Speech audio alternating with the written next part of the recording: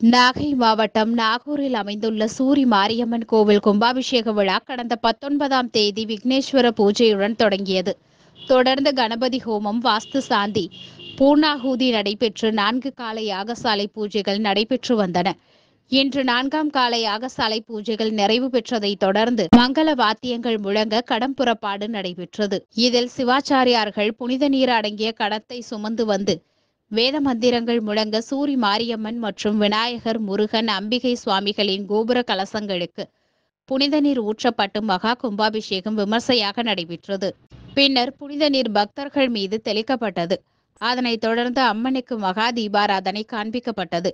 இதில் சுற்றுவட்டார பகுதிகளைச் சேர்ந்த பக்தர்கள் திரளானோர் பங்கேற்று சுவாமி தரிசனம் செய்தனர்.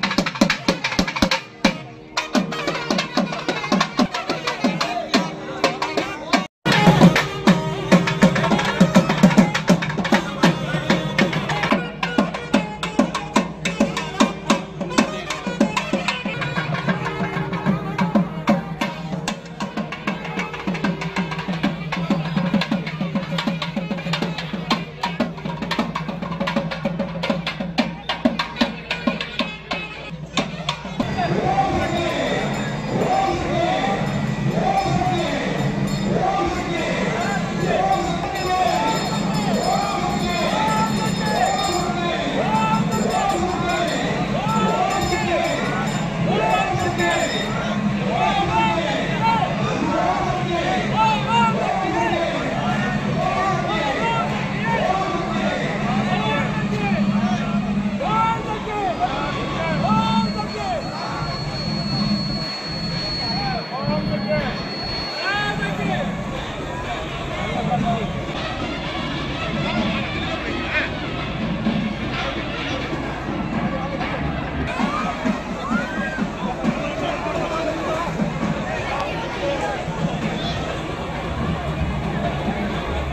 vamos vamos vamos vamos vamos vamos vamos vamos vamos vamos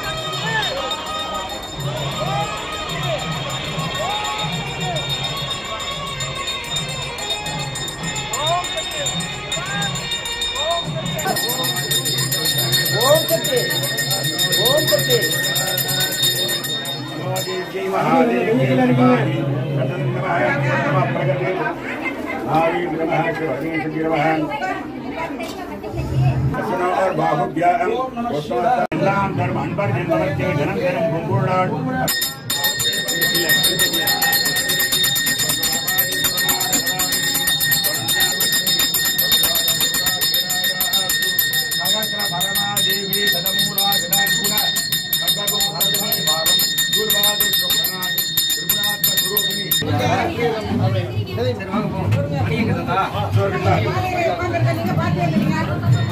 பார்த்துட்டு எந்திரிங்க பார்த்துட்டு பேசு